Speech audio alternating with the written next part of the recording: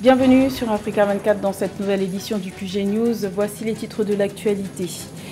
Épilogue du long feuilleton judiciaire qui oppose la Somalie et le Kenya sur le tracé de la frontière maritime.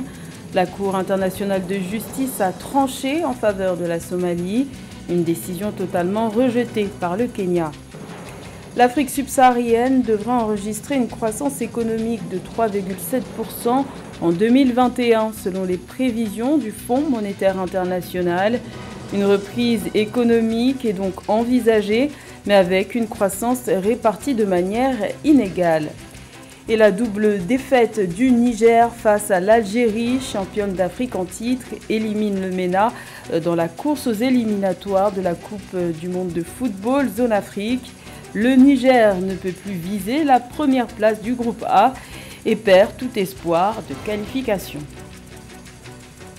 Mais tout d'abord, la MINUSCA tire la sonnette d'alarme en Centrafrique. La mission multidimensionnelle intégrée des Nations Unies pour la stabilisation en Centrafrique déplore la montée des violences ces derniers jours. Selon la mission de l'ONU, la situation sécuritaire humanitaire et des droits de l'homme se détériorent au jour le jour, notamment à l'ouest du pays, suite aux attaques de groupes rebelles. La MINUSCA a annoncé le renforcement du dispositif sécuritaire et le déploiement de plusieurs unités dans les zones concernées par la montée des violences. Dans le conflit maritime qui oppose la Somalie au Kenya depuis des années, la Cour internationale de justice a tranché ce mardi 12 octobre. La juridiction de l'ONU a donné raison à la Somalie sur le tracé de la frontière maritime une zone potentiellement riche en poissons, en gaz et en pétrole. Une décision rejetée par le Kenya qui avait désavoué la juridiction le 9 octobre avant même l'annonce du verdict. Les explications de Samantha Saberou Saboubanga.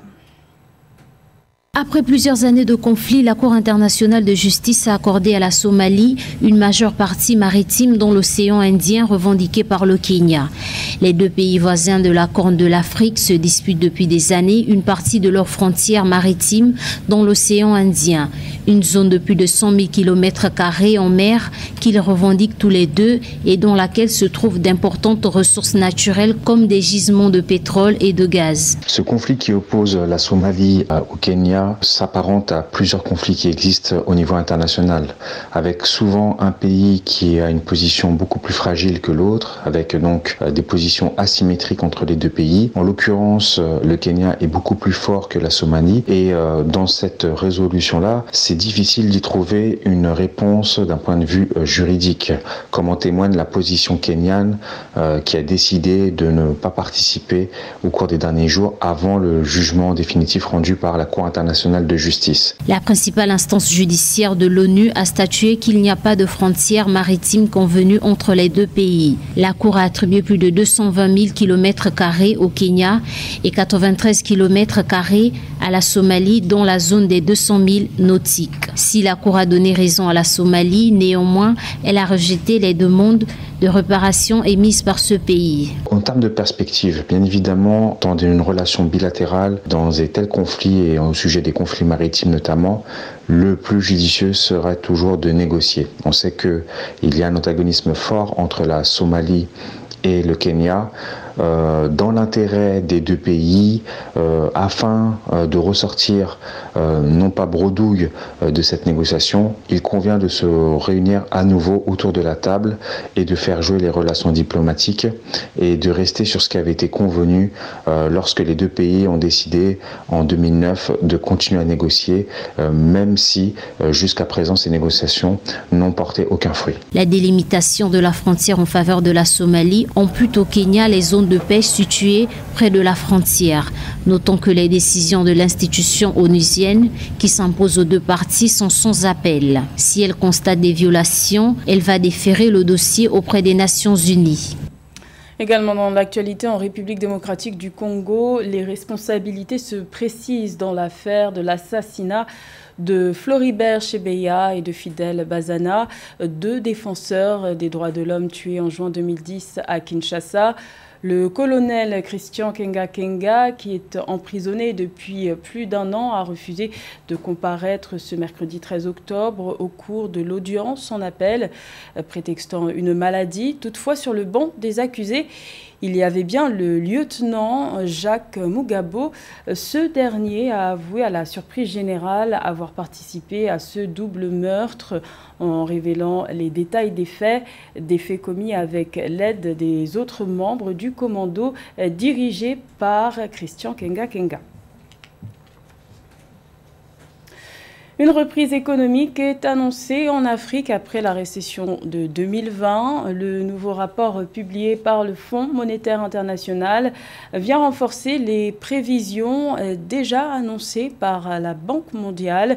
Le FMI prévoit une croissance économique de 3,7% en 2021 en Afrique subsaharienne, mais avec une répartition inégale. Plus de détails avec Aïssa Toubari. L'Afrique subsaharienne devrait enregistrer en 2021 une croissance économique de 3,7%. C'est ce qui ressort du nouveau rapport sur les perspectives économiques mondiales du Fonds monétaire international. Une prévision qui rejoint celle de la Banque mondiale qui prévoit également une reprise économique après la récession de 2020 de 3,3%. Nous sortons progressivement d'une pandémie, donc c'est normal que l'activité en baisse sur les deux dernières années ne reprennent que timidement.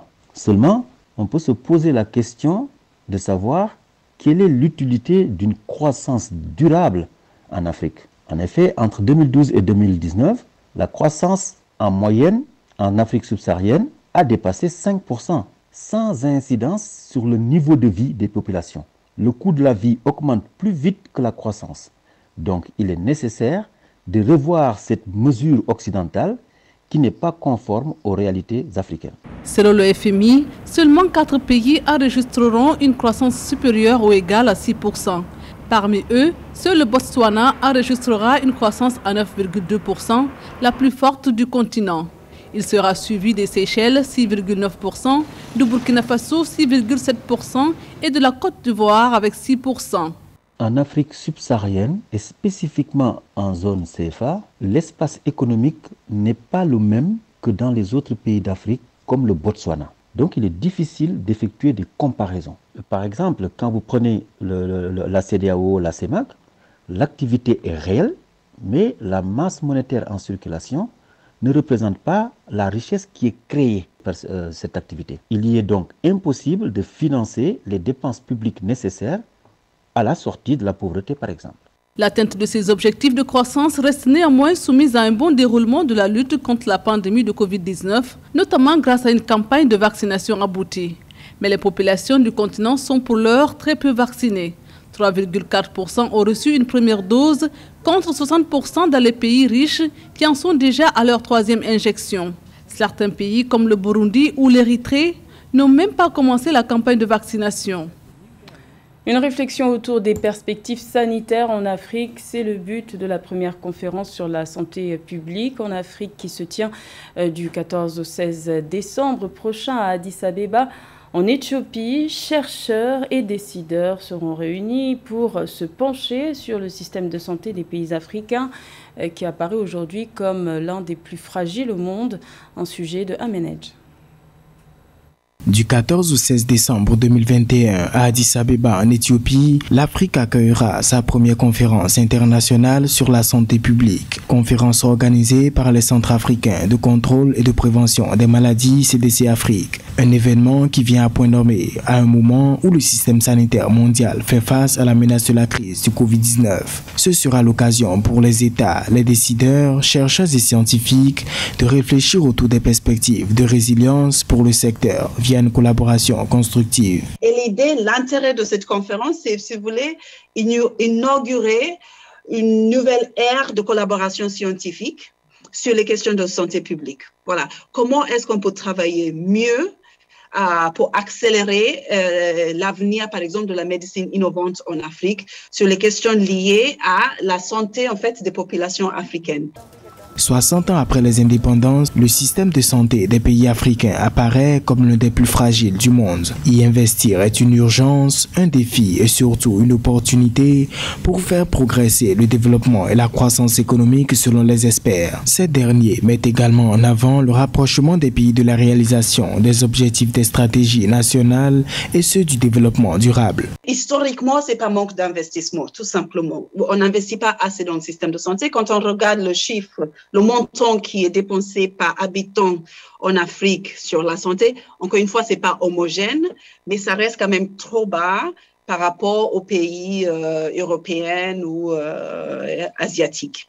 Donc c'est déjà ça. Il faut qu'on arrive en fait à investir à la hauteur de nos engagements de l'accord déjà d'Abuja de 2001, si je ne me trompe pas. Donc, c'est-à-dire 15% de nos produits, euh, de nos budgets nationaux. Mais il y a beaucoup de pays qui n'arrivent même pas déjà à ce niveau-là. Au cours de cette conférence, un accent particulier sera également mis sur le développement des compétences des professionnels en début de carrière. Un comité d'organisation composé de plus de 15 spécialistes de la santé en Afrique et du monde entier travaillera sur l'orientation stratégique et durable de la dite conférence. Elle est d'origine nigériane mais a passé toute son enfance en Côte d'Ivoire, ce qui explique son empreinte dans la chanson euh, ivoirienne. Après sept ans d'activité, l'artiste Rocky Gold est sur le point de sortir son tout premier album. Notre correspondant Angelo Mignot l'a rencontré et nous dresse son portrait. Rocky Gold, une artiste en pleine expansion musicale. Elle est l'auteur des tubes à succès comme Cola dans sauce, Gros cœur des femmes aux copines. Après 7 ans de carrière musicale, l'artiste fait le bilan de tout son parcours et donne les projets à venir. Parmi ces projets, il y a le lancement de son premier album. C'est un maxi-single de 4 titres. Euh, les titres sont Caprice de grossesse, euh, T'es plus le père et euh, Faut m'écouter. Et puis le dernier titre, le dernier titre, c'est Son métier. Avant, avant la sortie de ce single, j'étais désespérée. Je ne croyais plus. Tu vois, parce que tu sais, nous, nous les artistes, ce qui fait, ce qui fait nos, nos, forces, c'est de monter sur scène et être accueillis par nos fans. Voilà deux ans que Rocky Gold n'a plus sorti de tube. Elle se produit à des concerts et à des événements pour se maintenir dans le showbiz ivoirien. Aujourd'hui, elle compte aller encore plus loin pour gagner des cœurs auprès des mélomanes. On a mis du temps, moi et mon staff, parce qu'on veut sortir un bon truc. On veut sortir un son qui va cartonner, des sons qui, vont cartonner dans le monde entier. Voilà, donc il y a quatre, quatre, singles qui vont sortir et euh, un clip. Et euh, bon, peut-être, euh, qui sait, peut-être des featuring, on verra. Rocky Gold compte à son actif six titres, dont deux collaborations avec Kadi Sili et Serge Beno, deux icônes de la musique ivoirienne. Elle est désormais considérée comme l'une des meilleures artistes féminines en Côte d'Ivoire. Fin de course pour le Niger dans les éliminatoires de la Coupe du monde de football zone Afrique. Après une double défaite face à l'Algérie, le MENA a perdu tout espoir de viser la première place du groupe A. L'unique billet pour le dernier tour des éliminatoires zone Afrique se jouera donc entre l'Algérie et le Burkina Faso. Reportage de notre correspondant Sadou Alizé Mokhtar. Quatre jours après avoir battu le Niger 6 buts à 1 à Blida en Algérie, les Fenech ont récidivé à Niamey ce mardi 12 octobre face aux mêmes adversaires. Une victoire nette, 4 buts à 0, qui leur permet de prendre la tête du groupe A. Après un début de match compliqué, Riyad Mahrez a ouvert le score dès la 20e minute de jeu.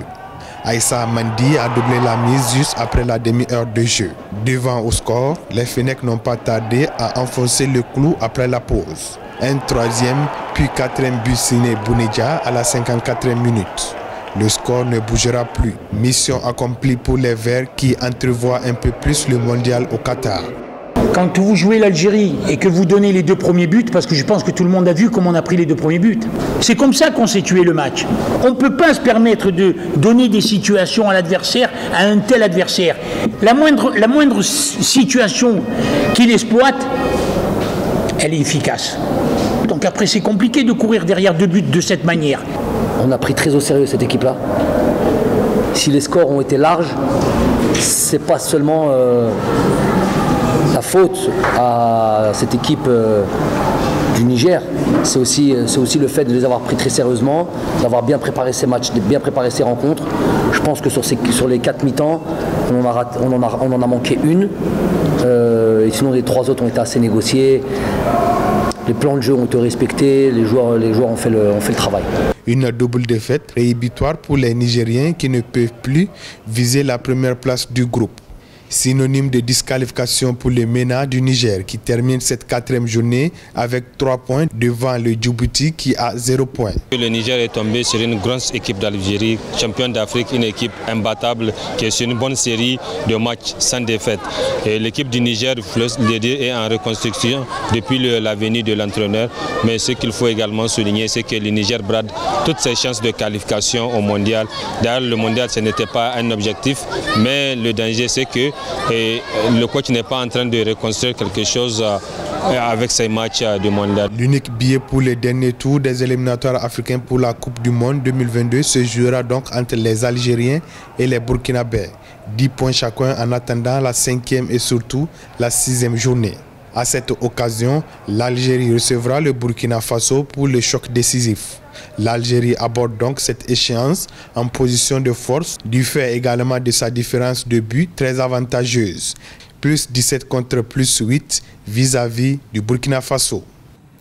C'était le journal de la rédaction. Merci de l'avoir suivi. L'information continue sur Africa 24.